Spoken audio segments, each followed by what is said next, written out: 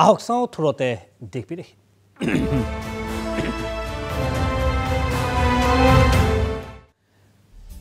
ক্ৰমাৎ স্বাভাৱিক অৱস্থালৈ দেশৰ বিমান পৰিবহণ সেৱা শীঘ্ৰেই প্ৰত্যাহাৰ হ'ব আন্তঃৰাষ্ট্ৰীয় বিমান পৰিবহণৰ ওপৰত থকা সকলো নিষেধাজ্ঞা অহা সাতাইছ মাৰ্চৰ পৰা পুনৰ চলিব আন্তঃৰাষ্ট্ৰীয় বিমান মঙলবাৰে এই কথা আনুষ্ঠানিকভাৱে ঘোষণা কৰিলে দেশৰ অসামৰিক বিমান পৰিবহণ মন্ত্ৰণালয়ে দেশৰ কভিড পৰিস্থিতি উন্নত হোৱাৰ বাবেই এই পদক্ষেপ মন্ত্ৰণালয়টোৰ উল্লেখযোগ্য যে বিগত দুটাকৈ বৰ্ষত বন্ধ হৈ আছিল আন্তঃৰাষ্ট্ৰীয় বিমান পৰিসেৱা। কভিডৰ বাবে দুহেজাৰ বিছৰ তেইছ মাৰ্চত ভাৰতত বন্ধ হৈ পৰিছিল আন্তঃৰাষ্ট্ৰীয় বিমান পৰিবহণ সেৱা। অৱশ্যে এই সময়ছোৱাত কিছুসংখ্যক দেশৰ সৈতে জৈৱিক সুৰক্ষাৰ মাধ্যমেৰে অব্যাহত আছিল ভাৰতৰ পৰিবহণ ব্যৱস্থা। সন্ত্ৰাসজৰ কাশ্মীৰত পুনৰ আন এক বিস্ফোৰণৰ ঘটনা। আজি কাশ্মীৰৰ উধামপুৰত সংঘটিত ভয়াৱহ বিস্ফোৰণত এজন নিহত হোৱাৰ লগতে আহত হৈছে বাৰজনকৈ ব্যক্তি। উধামপুৰৰ জিলা আদালত প্ৰাংগণত সংঘটিত হৈছে বিস্ফোৰণৰ ঘটনাটো। ঘটনাৰ প্ৰাথমিক তদন্ত আই ডিৰ দ্বাৰা বিস্ফোৰণৰ ঘটনাটো সংঘটিত কৰাৰ সম্ভেদ লাভ কৰা গৈছে। বিস্ফোৰণত আহতসকলক ততাতৈয়াকৈ জন্মুৰ অসামৰিক চিকিৎসালয়ত ভৰ্তি কৰোৱা হৈছে। আহতসকলৰ অৱস্থা বৰ্তমান সুস্থিৰ বুলি জানিব পৰা গৈছে। বৰ্তমানলৈকে এই সংক্ৰমণৰ সৈতে কোনো সন্ত্ৰাসবাদী সংগঠন জড়িত থকাৰ প্ৰমাণ লাভ কৰা নাই জন্মু আৰক্ষীয়ে ৰাজীৱ গান্ধীৰ অন্যতম হত্যাকাৰী এ জি পেৰাৰী ভালানৰ জামিন মঞ্জুৰ কৰা হৈছে।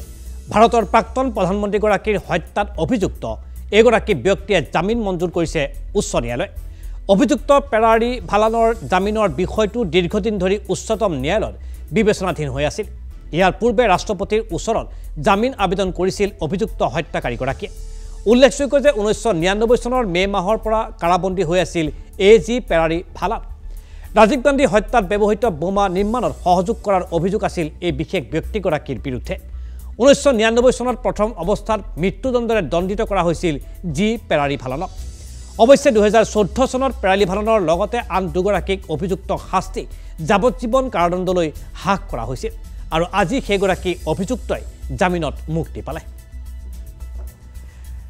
নাইজেৰিয়াত বন্দুকধাৰীৰ আক্ৰমণত নিহত হৈছে কমেও বাষষ্ঠিজনকৈ ব্যক্তি। দেশখনৰ উত্তৰ পশ্চিম অঞ্চলৰ কে বি প্ৰদেশত সংঘটিত হৈছে এই ভয়াৱহ আক্ৰমণৰ ঘটনা। দেওবাৰে নিশা একাংশ স্বেচ্ছাসেৱী পহৰাদাৰীলৈ লক্ষ্য কৰি চলোৱা হৈছিল এই ভয়ংকৰ আক্ৰমণ। জে বি প্ৰদেশৰ কুখ্যাত ডকাইতৰ দলে এই আক্ৰমণ চলোৱাৰ সন্দেহ প্ৰকাশ কৰা গৈছে। শেহতীয়াকৈ সন্ত্ৰাসবাদী তথা ডকাইতৰ বিৰুদ্ধে কঠোৰ হৈ পৰিছে নাইজেৰিয়ান প্ৰশাসন। দেশখনৰ বিভিন্ন অঞ্চলত চলোৱা হৈছে সন্ত্ৰাসবাদী তথা ডকাইতৰ বিৰুদ্ধে ব্যাপক অভিযান। গাঁও তথা চহৰবোৰত স্বেচ্ছাসেৱী পহৰাদাৰী দল গঠন কৰিছে নাইজেৰিয়া চৰকাৰে যাৰ বাবে সন্ত্ৰাসবাদী লক্ষ্য হৈ পৰিছে এই পহৰাদাৰী দলসমূহ। ইয়াৰ পূৰ্বে জানুৱাৰী মাহতো কে বি প্ৰদেশত সংঘটিত হৈছিল অনুৰূপ ঘটনা য'ত নিহত হৈছিল অৰ্ধ শতাধিক ব্যক্তি। সক্ৰিয় ৰাজনীতিক বিদায় জনালে কংগ্ৰেছৰ জ্যেষ্ঠ নেতা এ কে এন্থনীয়ে। আজি আনুষ্ঠানিকভাৱে তেওঁ এই কথা প্ৰকাশ কৰিলে। ইতিমধ্যে কংগ্ৰেছৰ শীৰ্ষ নেতৃত্বক ৰাজ্যসভালৈ পুনৰ নিৰ্বাচিত কৰাৰ পৰা বিৰত থাকিবলৈ অনুৰোধ কৰিলে ৰাজ্যসভাৰ বৰ্তমানৰ সাংসদগৰাকীয়ে। এপ্ৰিলত এ কে এন্থনী ৰাজ্যসভাৰ কাৰ্যকালৰ অন্ত পৰিব। বৰ্ণিল ৰাজনৈতিক কেৰিয়াৰৰ অধিকাৰী এ কে এন্থনী এসময়ত কেৰালাৰ মুখ্যমন্ত্ৰী হিচাপেও কাৰ্যনিৰ্বাহ কৰি আছিল এ কে এন্থনীয়ে। এ কে এন্থনী কেন্দ্ৰীয় মন্ত্ৰী হিচাপেও তিনিটা কাৰ্যকাল অতিবাহিত কৰিছিল।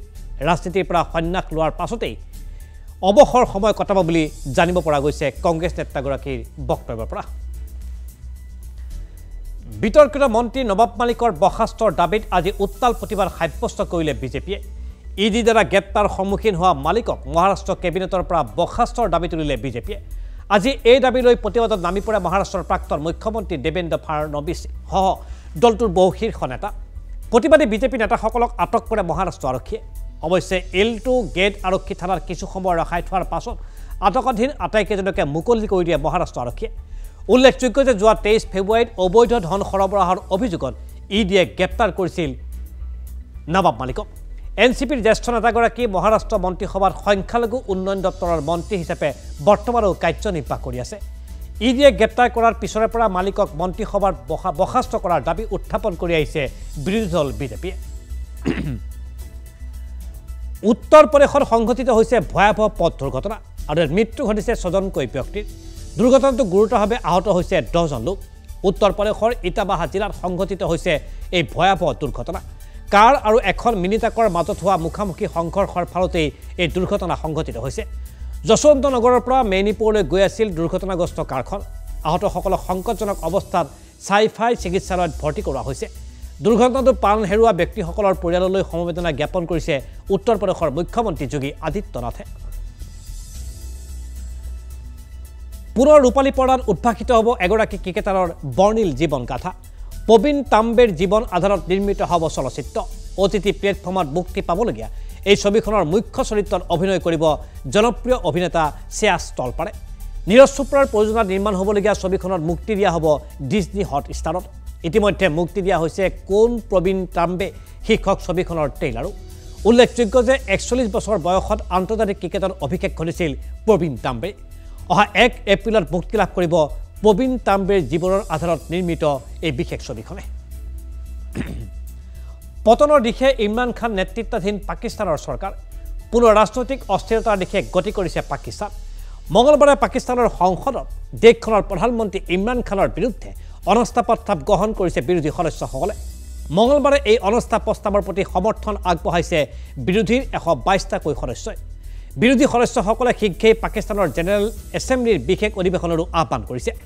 মূলতঃ মূল্যবৃদ্ধি নিবনুৱা সমস্যা অভাৱনীয় কৰ আৰোপৰ বাবে এতিয়া ইমৰান খানৰ বিৰুদ্ধে থিয় দিছে দেশখনৰ বিৰোধী দলসমূহে।